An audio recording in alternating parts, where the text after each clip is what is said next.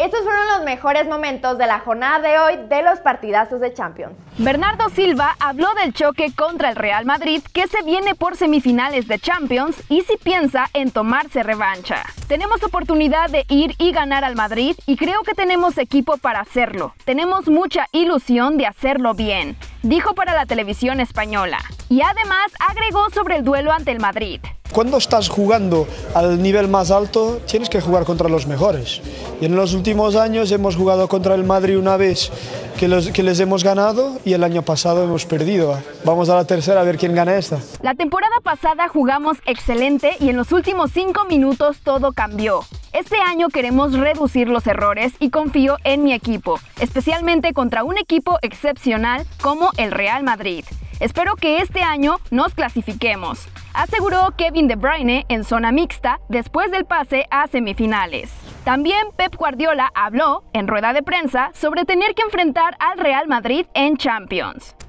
I had the feeling that uh, I think I heard yesterday 11 semifinals in 30 years, so chapeau, heads off.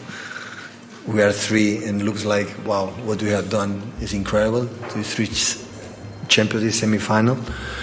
Um, and I think all the clubs around the world had the feeling that if you want to win this competition, you have to beat Real Madrid right now. Before was Barcelona, now it's Real Madrid.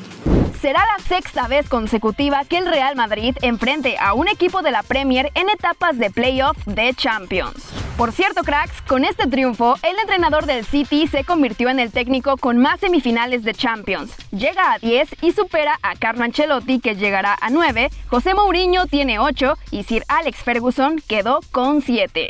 De las 10 semifinales, Pep jugó 4 con el Barça, 3 con el Bayern y otras 3 ahora con el Manchester City. Mientras que del lado del Bayern, Hassan Salihamidzic aseguró que el equipo debe marcar más goles. Y esto respondió cuando le preguntaron si falló la planificación para reemplazar a Lewandowski. Planificamos la plantilla todos juntos, incluido el antiguo cuerpo técnico. Trabajaremos en ello en verano.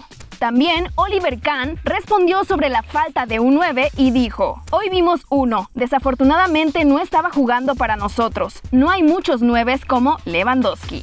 Además, Thomas Tuchel, quien fue expulsado, terminó enojado con el árbitro y lo acusó de no haber estado al nivel de este partido. Upa Mecano fue muy criticado en redes por su actuación en los dos partidos contra el City, pero De lo defendió. Esto dijo sobre el resbalón en el gol de Haaland. Lamentable, para mí hizo un gran partido. Son los pequeños detalles los que marcan la diferencia. Disfruto mucho jugar con Upa. Siempre está ahí, no es egoísta, siempre juega para el equipo. Vámonos a Italia, donde el Inter clasificó a las semifinales después de 13 años, cuando en la temporada 2009-2010 terminó campeón. Y bueno, sabemos que habrá derby de la Madonina para definir a uno de los finalistas de esta Champions. Será la tercera vez que se enfrenten en este torneo y siempre se clasificó el Milan en las semifinales de 2003 y en los cuartos de final de 2005.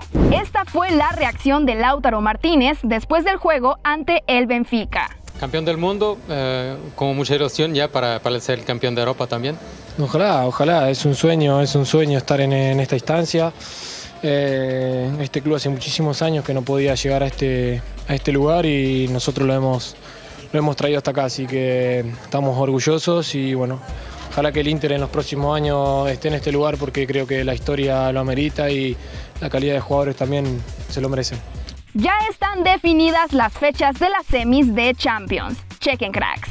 El martes 9 de mayo se jugará la ida del Real Madrid-Manchester City en el Bernabéu, mientras que el miércoles 10 de mayo será la ida del Milan-Inter en el San Siro. Las vueltas serán el martes 16 de mayo con el Inter-Milan y el miércoles 17 con el City ante el Real Madrid en el Etihad Stadium. El periodista César Luis Merlo reporta que el Botafogo de Brasil hizo una oferta formal por James Rodríguez para ficharlo a partir de julio con contrato hasta diciembre de 2024. Cracks, hubo actividad en la Copa Libertadores y esto fue lo que pasó. En Montevideo, Nacional le ganó 2 por 1 al DIM de Colombia con gol de Noguera al 96. En el Monumental, el River vino de atrás y con un jugador menos durante más de 45 minutos, goleó 4 por 2 al Sporting Cristal. En el debut de San Paoli, el Flamengo le pegó al Ñublense con doblete de Pedro. Colo Colo venció 1 por 0 al Monagas de Venezuela y Corinthians cayó de local contra Argentinos Juniors. Completan la jornada Barcelona de Ecuador ante Bolívar.